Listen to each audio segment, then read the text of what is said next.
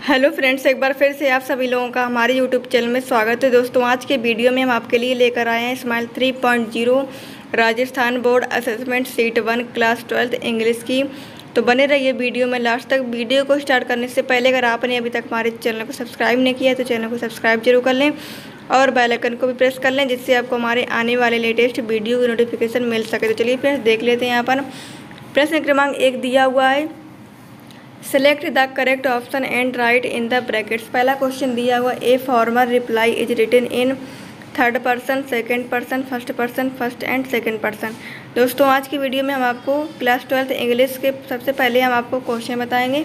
फिर सारे क्वेश्चन के आंसर आपको इसी वीडियो में देखने को मिलेंगे। दूसरा क्वेश्चन दिया हुआ है an informal reply is written in first person second person third person third and second person इसी प्रकार से तीसरा क्वेश्चन दिया हुआ है आपका what should not be included informal invitation reply day and date venue name and designation solution salutation in the recipient इसी प्रकार से चौथा क्वेश्चन दिया हुआ पांचवा दिया हुआ छठा दिया सारे क्वेश्चन आप देख लीजिए एक बार सातवां, आठवां, नौवां, दसवा ग्यारह दस, ग्यारह, बारह, तेरह, चौदह, पंद्रह, सारे क्वेश्चन एक से लेकर बीस तक के क्वेश्चन दिए हुए दोस्तों।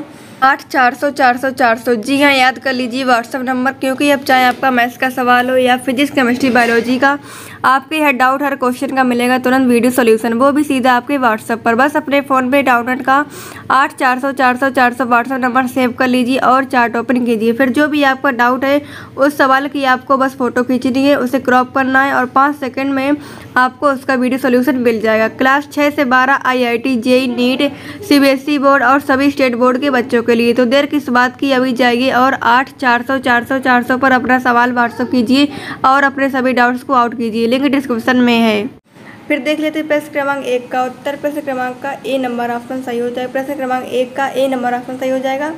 फिर इसके बाद प्रश्न क्रमांक दूसरे का ए नंबर ऑप्शन सही हो जाएगा। तीसरे का सी नंबर ऑप्शन सही हो जाएगा। चौथे का डी नंबर ऑप्शन सही हो जाएगा। पाँचवें का डी नंबर ऑप्शन सही हो जाएगा। दोस्तों, जल्दी से नोट करिए अपनी कॉपी में। छठे का सी नंबर सही हो जाएगा। सातवें का बी नंबर, आठवें का बी नंबर, जल्दी से नोट करिए अपनी कॉपी में। नौवें का सी नंबर दसवें का डी नंबर, इसे भी आप जल्दी से नोट करते जाइए, अपनी कॉपी में टिक करते जाइए।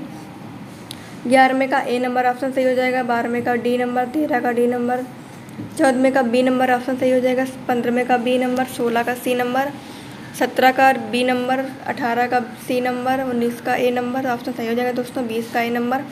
तो दोस्तों ये थे प्रश्न क्रमांक एक से लेकर बीस तक के प्रश्नों के उत्तर। दोस्तों वीडियो पसंद आया तो वीडियो को लाइक करें और चैनल पर पहली बार विज़िट कर रहे हैं तो चैनल को सब्सक्राइब ज़रूर कर लें और अपने दोस्तों के साथ भी शेयर कर दें। तो मिलते हैं नेक्स्ट वीडियो में। Thanks for watching video